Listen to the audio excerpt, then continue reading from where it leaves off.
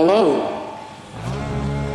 It is such a pleasure to be here with you today and to speak to you about something close to me personally. That is about machines.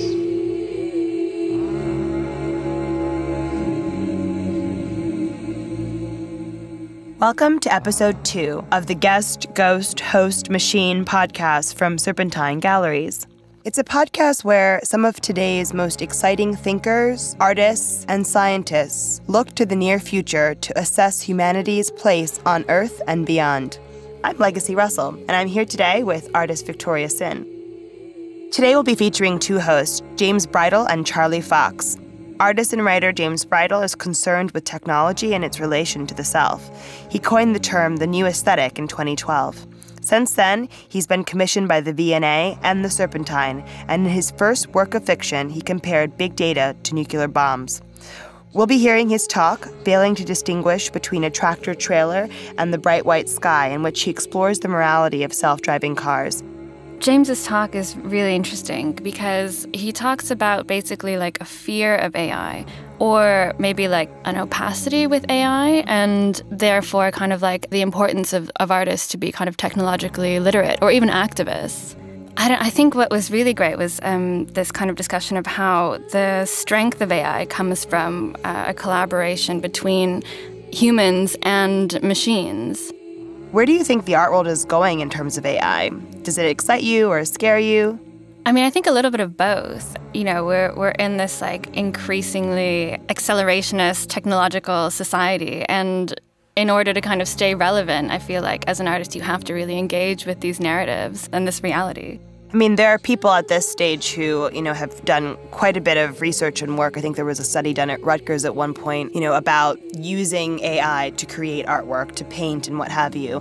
And it kind of brings to light the question of, you know, is a human even necessary to produce artwork? And what happens if you take the human out of the equation? Yeah, so this is really interesting because James talks, well, uses this kind of analogy of the self driving car to speak about kind of like a human fear of AI. Mm. Uh, he talks about how basically we should, you know, not fear AI, and actually the fear comes from a lack of understanding. We need to be technologically literate as artists in order to be able to use these tools um, to, to be kind of like liberating technologies. Here is Failing to Distinguish Between a Tractor Trailer and the Bright White Sky by James Bridle. I'm going to talk about self driving cars.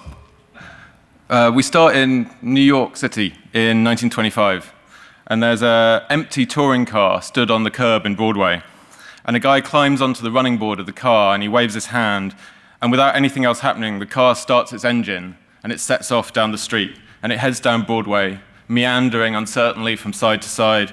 It narrowly misses a, a milk wagon and then a fire engine. It gets a little bit further, but then suddenly it veers sharply to one side, and the guy on the running board lunges for the steering wheel, but he doesn't make it, and the car smashes into another car. And this second car is filled with photographers who are trying to take a picture of the first car, trying to capture this image of a, a vehicle without a driver. The invention of the ship, as Paul Virilio wrote, was also the invention of the shipwreck. The car was called the American Wonder, and it was the invention of the guy on the running board, uh, who was an engineer called Francis Houdina. And the appearance of autonomy was produced by radio waves, which were broadcast from another car driving behind. In July of the same year, uh, the illusionist Harry Houdini broke into Houdina's office uh, and smashed all the furniture and accused them of stealing his name and his mail. Um, uh, Houdina, the first guy, protested in turn that if he was using the magician's name, it would imply that his invention was a trick rather than a genuine working machine. But this network of associations is there right from the start the car, the illusion, the image, and the crash. So my timeline of the self-driving car begins and ends, for now, with a crash. The second, unlike the first, was fatal.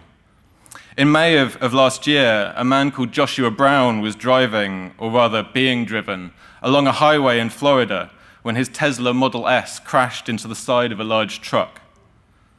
The Model S was the first production car to feature a technology called autopilot, which offers limited autonomy. Using a combination of radar, sonar, video cameras, and machine intelligence, The car can drive itself for hours at a time under many different conditions. Drivers are required to keep their hands on the wheel at all times and receive audio and visual warnings if they don't. Joshua Brown was using autopilot at the time of the crash. In a blog post a few days after his death, Tesla stated that a truck had turned to cross the highway in front of Mr. Brown's car, and the car's sensors had failed to register it. Neither autopilot nor the driver, they wrote, noticed the white side of the tractor trailer against a brightly lit sky, so the brake was not applied. Mr. Brown was a huge Tesla fan, and he'd posted numerous videos on YouTube showing off the features of his car. He posted his last video in April, just a month before he died, uh, and it shows his car under autopilot control swerving to avoid a tow truck that's shifted into his lane. It's called Autopilot Saves Model S, and you can still watch it on YouTube. And you can hear the Malcolm Gladwell audiobook that Brown is listening to, and you can hear him say, Holy shit, as the car suddenly moves by itself to one side to avoid crashing. But before the actual crash, investigators revealed, Brown had been driving for 36 minutes without his hands on the wheel, and he'd ignored seven separate warnings. While the truck should have been visible to the driver for seven seconds leading up to the crash, a portable DVD player was found in the wreckage, and the truck driver testified that Brown had been watching a Harry Potter movie when his car went under the truck, and it was still playing in the wreck afterwards. In 1971, in an essay for the AA's magazine Drive, J.G. Ballard wrote, quote, If I were asked to condense the whole of the present century into one mental picture, I would pick a familiar everyday sight a man in a motor car driving along a concrete highway to some unknown destination. I think, he continued, that the 20th century reaches almost its purest expression on the highway. Here we see all too clearly the speed and violence of our age, its strange love affair with the machine, and conceivably with its own death and destruction, unquote. It's important to note that self-driving car is not in itself dangerous. As Tesla noted in that blog post, um, there's on average one fatality every 60 million miles driven worldwide. Uh, and Mr. Brown was the first known fatality in 130 million miles of driving under autopilot. But then the danger posed by the self-driving car is not merely one of road death. It's one of lack of understanding and lack of control. As Ballard noted in that essay, the appeal of older cars, of vintage cars, is that they're comprehensible. They are, quote, rooted in the 19th century, a visible and easily grasped technology of pistons, flywheels, steaming valves, a far cry from the new technologies of the late 20th century, a silent and mysterious realm of invisible circuitry, unquote. This tendency is only accelerated in our own time, from black box devices to inscrutable cloud platforms. You may have heard the recent story about American farmers paying UK Ukrainian hackers to fix their tractors uh, because the machines are basically entirely driven by software now, and the farmers are contractually not allowed to even open up the bonnets and fix them themselves. This aesthetic and technological obscurity breeds a political unease and, and corporate contempt. In recent weeks, much has been made of the battle between Transport for London and Uber, uh, the taxi company that's become a byword for corporate greed and social irresponsibility. Because beyond their well documented sexism and disregard for local laws on taxes, employment rights, the reporting of sexual assaults, Uber wields technological ambiguity as a weapon. This ambiguity starts in the user interface where the system at times creates what are known as ghost cars, fake rides in the user's vicinity, which are generated to convince the user that the service is more active than it really is. Rides are tracked without the user's knowledge, and a God's eye view is used to stalk high profile clients. Particularly pissed off uh, the London government was a program called Greyball that's used to deny rides to government employees investigating the company's numerous transgressions. But perhaps Uber's greatest perceived sin, and the one that takes us back to the self driving car, is the social atomization that it produces. Taxi drivers are no longer employees, but precarious contractors. Riders are alienated individuals, contributing to the offshoring of tax revenues, the decline of public transport services, and the class divisions and congestion of the city streets. The ultimate goal of Uber's business, whether that's driving cars or delivering takeaways, is to replace its human workers entirely with machines.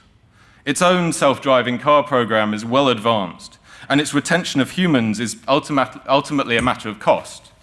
Unruly humans, despite their lingering desire for the freedoms of city life, are, for the moment, marginally cheaper than pliable machines. But this situation will not last much longer, and the self driving car is a herald of all forms of automation, which will deprive millions of work in the coming decades. All of this was forecast by Ballard in 71, of course. Uh, nationwide traffic reports, satellite navigation, direct debit toll roads, the remote electronic control of the vehicle, all are predicted. Sooner or later, he wrote, it will become illegal to drive a car with a steering wheel. The private car will remain, but one by one, its brake pedal, accelerator, and control systems, like the atrophying organs of our own bodies, will be removed. Unquote. And with those control systems goes the freedom that the 20th century idea of the automobile entailed. It's the death drive, but virtualized. But while Ballard's forecast was accurate, it didn't and doesn't have to be inevitable. The deployment of self-driving cars and full automation to engender loss of control, alienation, and immiseration is hardly surprising, but it's not inescapable. Just because it's a technology, whether it's autonomous vehicles, satellite communications, or the internet, has been captured by capital and turned against the populace, doesn't mean it doesn't retain some seed of utopian possibilities. The self-driving car for me is a fantastic example of this tendency, because properly regarded, it's the opposite of autonomous. Whereas the 20th century automobile, equipped with a paper map and some jerry cans of fossil fuel, uh, could light out for parts unknown under the sole control of the rugged individualist. The self-driving car is enmeshed in an infrastructure of renewable energy, electrical power, satellite signals, slippy maps, over-the-air updates, and messy human desires of other people. It must continually re-examine and revise its view of the world, adapting to and learning from its environment and the experiences of other vehicles. Its perceived intelligence is always and utterly a networked intelligence. Far from being a vehicle for individualism and selfish freedoms, the self-driving car necessitates a return to the communal and the social. The moral and regulatory obstacles faced by today's exploitative, extractive corporate technologies, from Facebook to Uber to Google, exist not because of some residual technophobia or conservatism, but because these technologies are against nature a, nature that encourages our own desires and our own creations. The role of the artist and the activist in such a system is thus to explore the possibilities of these systems, working not against them, but working with them and alongside them and in the grain of them. To give an example of transforming a system from my own work, at the beginning of this year, I spent several months driving around uh, the mountains of central Greece, in a car I had fitted out with several cheap webcams uh, and a home-built accelerometer on the steering wheel, and had a laptop in the passenger seat that was recording all of this data as I drove, not very well, uh, around the mountains. And this information was subsequently fed into an open source machine learning system similar to the one used by Google and Uber and so forth to train their self-driving cars. By watching me drive, the system learned to drive itself, and not on the freeways of Southern California or the test tracks of Bavaria, but among the towns and villages of Greece, a place with a very different material and mythological history and present. In this development process, I also emphasize certain different behaviors. My car, primarily, is designed to get lost. Rather than entering a desired destination and sitting back, surrendering decisions over routing to the machine in return for a guaranteed arrival, my self-driving car plots a random course, taking every available exit, off-ramp, and side road in order to prioritize the journey over the destination. The end of the journey can't be predicted, and nor can the sights along the way. The cognitive effects of such a journey are produced in collaboration between human and machine imaginations. While sympathetic to histories of the flaneur and the dérive, this strategy is ultimately derived from technological approaches to complex problems, and particularly the random walk, a stochastic, algorithmic exploration of the project problem space, which acknowledges the possibility of multiple, contested, and potentially infinite solutions to any given problem. On the other hand, one of the possible responses to this technologically augmented assault directed at individual autonomy today is still resistance and refusal. The off switch should remain within reach. In my research into autonomous vehicles and machine vision, I've tried to develop several strategies for human scale opposition to exploitative automation, such as uh, the, this thing I call the autonomous trap. Uh, this trap is constructed by drawing a pair of nested circles, one dashed and one solid on the roadway.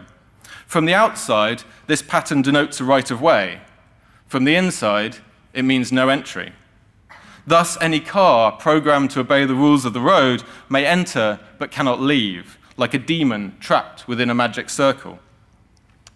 The trap, while an unquestionably aggressive action, has the potentially emancipatory benefit of being legible to both the human and the machine, and thus it opens up a shared space of mutual communication not buried within obscure lines of code, but painted directly onto the street for all to see. It uses for its material both the physical stuff of the world and the networked, numinal, meta stuff of digital video and signal processing. The autonomous trap was inspired in part by my favorite story about networked automotive systems and resistance. In October of 78, the Italian premier Andreotti was scheduled to visit Bologna uh, to give a speech, and the city's autonomists were discussing how to protest. And the version of the story that I was told, a comrade named Pino arrived at this assembly, and he silenced everyone else with a shout. And he, he yelled to them all, We must use technology to defeat capitalism. And then he opened up his long coat, and it was hung with all kinds of keys and tools. And one of these keys was the key that opened every traffic light in the city. On the day that Andreotti was due to come and give his speech, the autonomists spread out through the city, and they used these keys to turn every traffic light red, and they turned the entire city into gridlock, and Andreotti never even left the airport. Such is the effect of an embedded, networked, and technologically literate resistance. It must be hoped, however, that our future admits for greater collaboration with our technologies instead of obstruction. Such an approach will require a radical rethinking of our cities and our communities, which is more, not less, in the image of our technologies. If and only if we can free those technologies from the grasp of large corporations and opaque, opaque, tech, uh, opaque, excuse me, opaque politics. Just as the internet itself is an unconsciously generated product of our unconsciously networked desires, so the most quotidian technological products reveal aspects of other loving futures. This possibility exists even within the steel, glass, and gas of the self-driving car. If we choose not to imagine and engage with such possibilities, we too are in danger of failing to distinguish between the tractor-trailer and the bright white sky, trapped in the automobile, hands off the wheel, being taken in the most comfortable and efficient manner straight into the side of the truck. Thank you very much. You can see James Bridle's digital commission for the Serpentine Galleries at cloudindx.com. That's C L O U D I N D X.com. Our next host is Charlie Fox, a fluent writer on art, but also a young author making international waves. Fox published his first book in 2017. This Young Monster is a series of essays re examining tales of myth and monster, weaving together pop culture and folklore to tell the stories of people who, in Fox's words, rebel against a reality that's too cruel or boring for them to inhabit. John Waters recommended This Young Monster in The New Yorker. He said, Charlie Fox's breath of proudly putrefied air is really something to behold. Mr. Fox is the real thing. In Karloff, Charlie Fox imagines a conversation between a radio talk show host and Frankenstein's monster. Karloff was written and performed by Charlie Fox and produced by Jack Howson.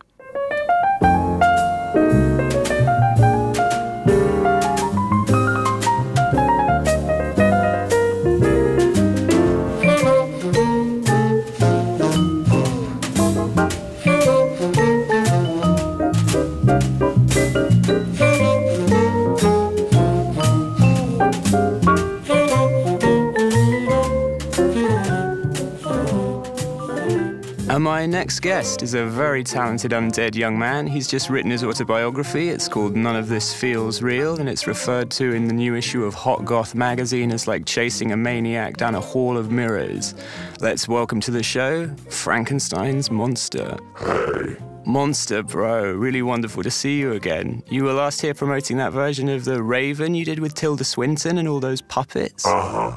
Weird movie. It was super outre. Very funny. I liked it a lot. And uh, let me just say, pre our famous little quiz here, you were off the map for a little while. I was gone. Yep.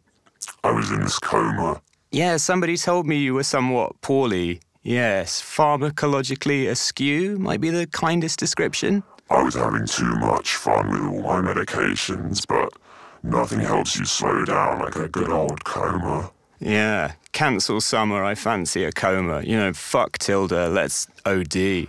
Yeah, I mean, for half accident, half suicide, it was very soothing. Like being submerged in this marshmallow goo swamp for a month, just hearing the blood flow through my veins. And uh, off air earlier, you were telling me about your heartbeat, which is a little bit bizarre too. Yeah, monster heartbeats are so freaky. A human heartbeat is like a clock ticking in a toy chest, and my heart sounds like hot metal being shredded again and again. Like this hideous screaming noise. And the whole thing is kind of dumb because you can't even die. I know, there's always a sequel or a resurrection for me, and I'm dead flesh anyway, so there's no escape, man. Yeah, you're just a bucket of Xmas cheer monster. And didn't you sleep outside last night? I did sleep on this fetid marsh last night, yes, and thus the unholy stench I'm radiating. Uh huh. Like a putrid yak in a junkyard. Because your dad, Victor, with whom you have multiple uh, issues, I guess is the word. Well, I killed him with this magic axe I bought, 1780s, enchanted wood. Sorry, I, I had to tiptoe around the concept of killing. Call me a squeamish kitten. No biggie. Your father, he had you sleeping outside as a child. Yeah, I slept in a cardboard box in the rain for a while, and in a graveyard, and in a kennel with my deerhound William Wilson, because Victor didn't want me in the house. He let me back in on Halloween, because he liked that joke. Oh, the one time of the year you could spook everybody and have fun. He was like, no way, kid, indoors. Yeah, it was rough. I'd be muzzled in the kitchen stroking a hound for hours and playing Danse Macabre on the xylophone. The bone assistant would fix up my old stitches and my oozing wounds whilst we watched Karloff on TV. Now, Karloff will get back to, but your dog is still hardcore. Yeah, William Wilson is alive. We fixed him up with his potion and electricity after he got hit by a car. And now he's 27 years old. Go, William Wilson. And he sleeps in your dad's house? I never stay in the house. I hate the inside of the house. It's all bats in jars and Tesla coils and garbage. So I, I left it to the dog. And your hatred of Boris Karloff came out of what? I say in the book, Karloff should be a code word for copycat, shadow, rip-off. I am NBA to all, I am dead, I groan, I kill things, but Lots of the population is dead or groaning or killing stuff in their houses tonight, like right now. Mm, Yeah, the other scientists who came to see me expected this brain dead, drooling wreck, which I was not. I was trying to read. I mean, Karloff was like this sick twin chasing me around, and I wanted to be rid of him. But, you know, Victor always thought I was his prize laboratory animal. You were like that inside out baboon from The Fly. Yeah, an inside out baboon. Have you ever eaten baboon? Nope. I've eaten roses, and I've eaten live and writhing snakes. I've eaten swans purple with virulent infection. Even a rancid swan will sprinkle glitter in your bloodstream. Magic gastronomy. Dark magic. And I'm just wondering, you never call Victor dad in the book, or maybe even mother. Would mother be more accurate? I never called him this or that. I was just a corpse to him, and he was a thing to me. And you had this recurrent dream on the marshes, which you write about so eloquently, and it's super creepy, beautiful, kind of a nightmare. Yeah, I was on the marsh. It was twilight, and I had this sensation, something sticky and hideous closing its wings over me, and the whole world suddenly quiet as a crypt. I'm not even sure it was a dream. Something wicked this way comes, huh? Now, is Lurch from the Addams family verboten like Karloff? Lurch is kind of cute. He's just the stoner in the family, too dumb to make Gomez happy. Can you hear the bats fluttering? Is that in my head? Yeah, I guess so. Trippy. And you also reproduce in the book these house tree person tests that your dad administered, if that's the right word, when you were a child, which are just bizarre. Like, you should show them off. How do those tests work? They're a standard psych test. A child draws a house, a tree, and a person, a typical suburban nuclear family scene, and the psychologist asks them a few little questions about it as they go. Who lives here? What goes on inside the house? What is it like inside the house at night? The last one looks really evil. Yeah, that's the best one. I think in the medical notes, Victor calls it bacon-like or something. Did Francis Bacon ever paint goth houses? No, just screaming meat and tigers in the grass and dead things, I think. He painted a lot of ghosts. But this house you drew is black and spiky and the outside is exposed, which, according to the test, is a symptom of psychosis. That was just a wrong for Victor. Mm-hmm. I mean, I never drew the house as it really was in my head. Which was what? Fairy Castle? That house from Family Guy? It was just a normal house on fire. A house on fire with huge flames raging like mad beasts. But you never drew that. Never ever. But when I drew the person, he was always diseased. There's a big list of diseases in this book that you were into quite deeply, some old favourites. I like the diseases that are only listed in medieval arcana. I like diseases you'd call Mulder and Scully to figure out. So here we have index, whoa, postcoital tristesse, encephalalgia, brain rattle, lunar psychosis, comorbid with werewolf delusions. You don't want any of them. I like the language of diseases too. It's kind of poetry. I like the words jelly, simian, professor. Ducking your meds again. Maybe I am. So, do you ever howl at the moon? Definitely. I think it's good for the heart and the fangs. It keeps the blues away.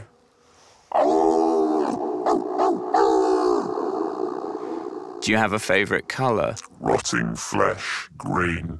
Oh, wow. Rotting flesh green makes me feel at peace. My moods are kind of jagged, but just that sweet pus colour makes me feel warm and fuzzy. Do you have a favourite album? Oh, yikes. Uh, thriller, dope smoker, clowny clown clown. Are you still a stoner?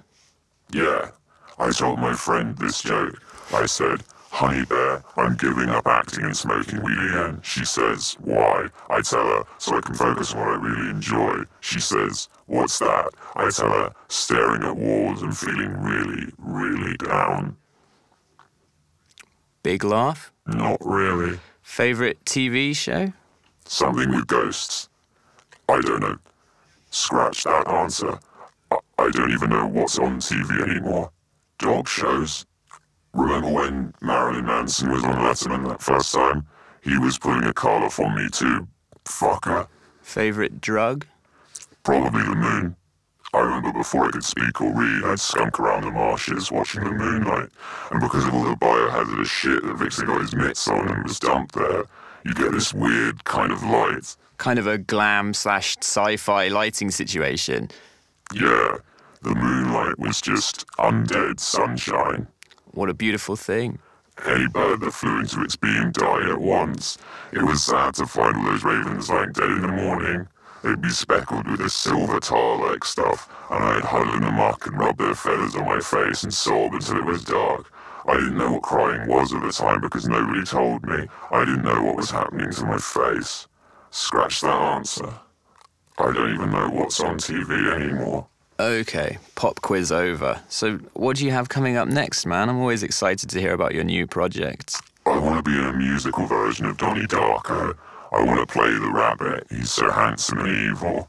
I want to tour mental institutions with my stand-up act. I want to live in the woods with my dog and play the flute. So, an ambitious schedule then. Oh, you betcha, man. I'm like Wile E. Coyote. Have you ever eaten a bin? We've done that part, bro. Oh, okay. Sorry, I'm still not quite myself. The house is still on fire. The house is still on fire. Well, everybody has funny creatures in their heads sometimes. Tis the season, maybe.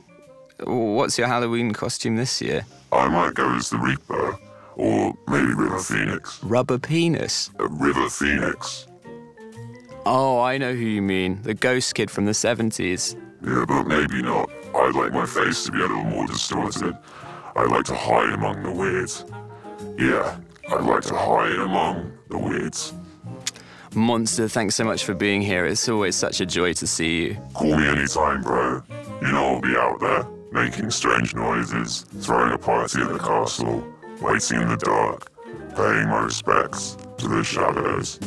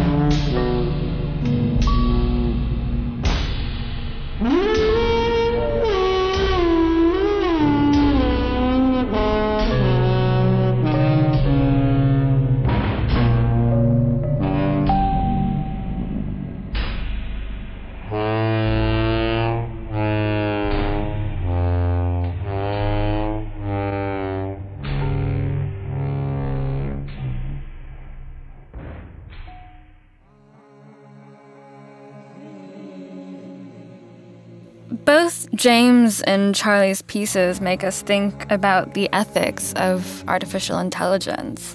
I think both for the people creating them and for people who exist in society with them.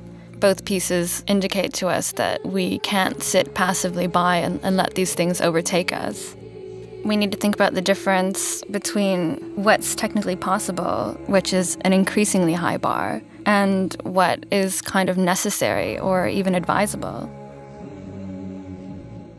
Thanks for listening to episode two of the Guest Ghost Host Machine podcast from Serpentine Galleries. You can listen to the series at radio.serpentinegalleries.org or subscribe on Apple Podcasts. All of the material in this series was originally recorded at or produced for the Serpentine Marathon in October 2017. Our music is by marathon performer Fatima Al Qadiri, aka Ayshay. dominating devices and tribal spectacles. Guest Ghost Host Machine.